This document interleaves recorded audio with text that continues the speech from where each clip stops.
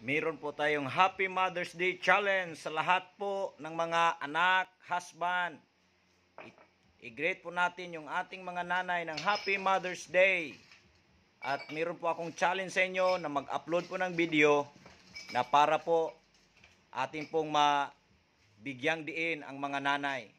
At ito po ang masasabi ko po sa aking nanay at sa aking asawa, nanay ng aking mga anak. Ito po, tingnan niyo po yung ginagawa ko. Happy Mother's Day.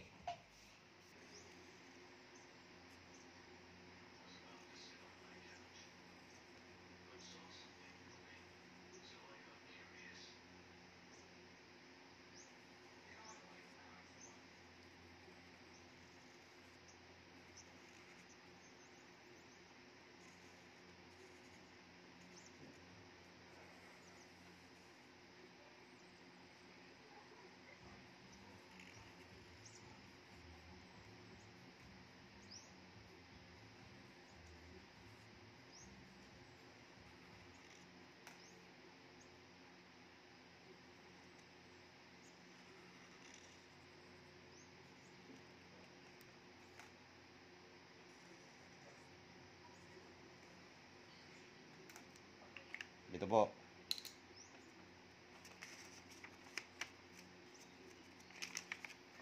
To my wife, I love you.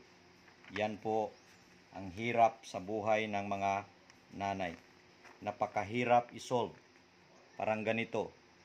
Pero sa huli, ito po yung dapat na maibigay natin sa kanila. I love you. Happy Mother's Day.